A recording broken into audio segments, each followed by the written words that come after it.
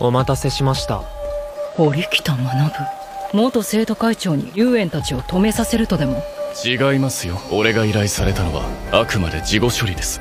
だが例の約束は忘れるな。ええ。ではあとはよろしくお願いします。